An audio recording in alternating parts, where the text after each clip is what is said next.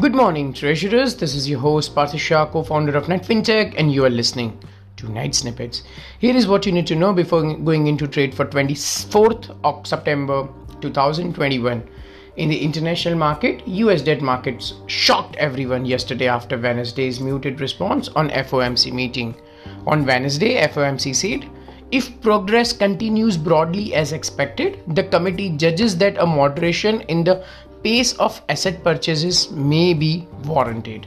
Market expects several stop losses were triggered and sell offs became intense. US 10 year closed 9 basis points up at 141 percentage points and 30 year 8 basis points up at 192 percentage points on Thursday.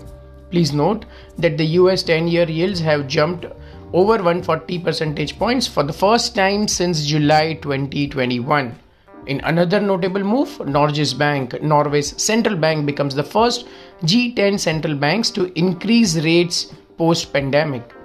After cutting rates three times in 2020 due to pandemic, Norway's central bank unanimously decided to increase rates from 0.25 from 0 percentage points to 0.25 percentage points. In the crude oil market, crude is trading at $77.45 per barrel. Short term range now has shifted from $75 to $80. Crude is growing to cross $80 per barrel very soon, and this could be a very, this could bring a lot of issues with emerging market countries like India. In the currency market, dollar index uh, tried to find its place at 93, trading at 93.09. Today's range for DXY 92.89 to 93.31. USD CNY or Chinese yuan is at 646. USD INR with a high of 73.85 closed at 73.74. Please note that 73.85 resistance has been tested twice intraday in the past two days, so keep an eye on this. Will be broken soon.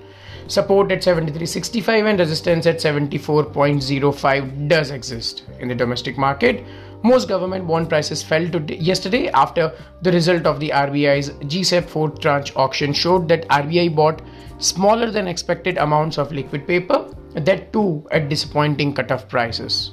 Prices fell as traders who had stocked up on these bonds hoping that the central bank would shell out high prices decided to offload them in the secondary market instead. 610 2031 cutoff came at 99.75 or 613 yield and accepted only rupees 2332 crores lower than expectation.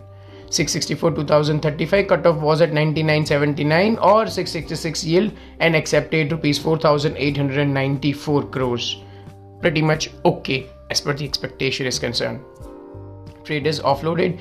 610 2031 in the secondary market but held on to 664 2035 as the cutoff was good and expected accepted a larger amount.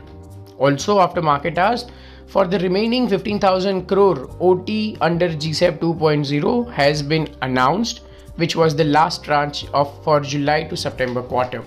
726 2029, 610 2031, 664 2035 are included.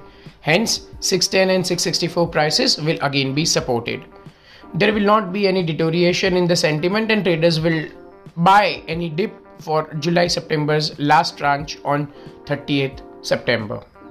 563 2026 closed at 558 versus 559 the previous trading day 664 2035 closed at 664 versus 664 the previous trading day. As far as the trading strategy is concerned 610 2031 is now at 614 we are neutral on 610 2031 with 1 to 2 basis points movements on either direction.